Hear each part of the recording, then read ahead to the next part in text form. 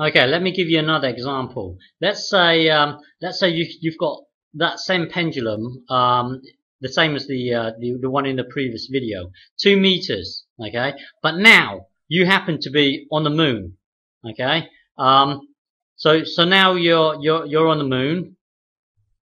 Um, the the pendulum, how how long will it how long will it take to make one swing? Um, so so um, remember on the moon, g on the moon is um, 1.622. So so start with our formula. T equals um, 2 pi uh, uh, root L over G. Now this this is a magical formula, so we don't know how it got there, but um, we're, we're just going to learn how to use it. Um, you see, pi always crops up in um in in nature. Um, here you, you here you've got a formula for the for the uh, period of one swing. So so one swing like this is called one period.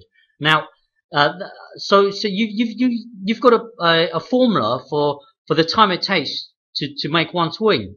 But why would why would pi crop up in that formula? Well, why is it that pi keeps on cropping up everywhere? Well, the reason, every time you see pi, there's normally a circle involved somewhere. Remember, if um, if, if, if I were to ask you, what, what is pi? Remember, pi is a distance uh, around a circle, which is c, uh, divided by uh, 2. Someone noticed that if, if you get the circumference, which is c, divided by 2 of the radius, it's, it's always pi. So pi really connects connects uh, the radius to the uh, to the circumference, and um, well, pi. Every time there's a circle, there's there's normally pi involved.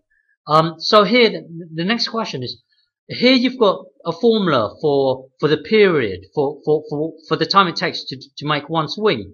Why would pi crop up in this in this um, in, in, in this formula?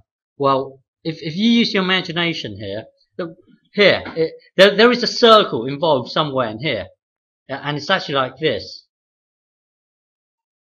I can't draw it properly, but there. Um, see, can you see a circle here, like like like this? It, it's it's actually a circle. That's why that's why pi crops up. If, if you look at the path of of the um, of the ball, it it will move along a circle. That's why pi crops up in here. And you you have to do physics to understand why it's like this. Okay. Well, anyway, um, how long will it take for a pendulum of two two meters to make one swing? Well, start with a formula. We want to know t. Uh, so it's two pi. Um, L. We know what L is. L is two. Okay, the length of um, the length of the uh, the string.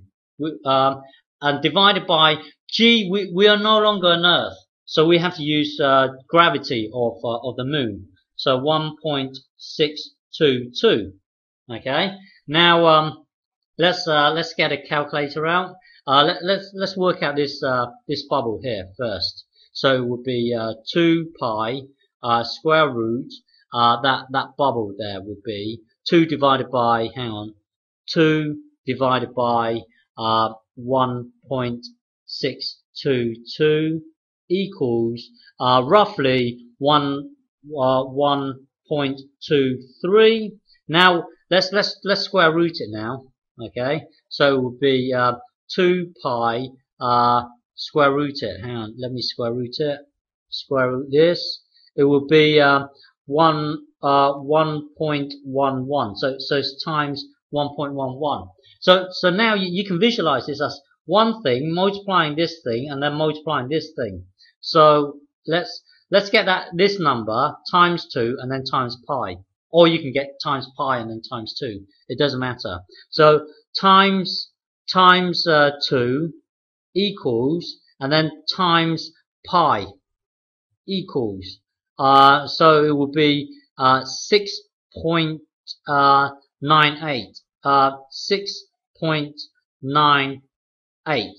Okay. Uh, let's let's let's uh, let, us let, just round up to um, to uh, seven seconds. So th this number is, very close to seven. Let, let's just say seven seconds.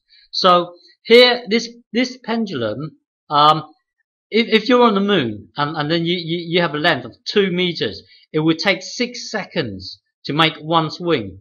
Um, in the previous, I think in the previous video, we worked it worked it out. If if you if you did this on on Earth, it would be uh, 2.8 seconds, something like that.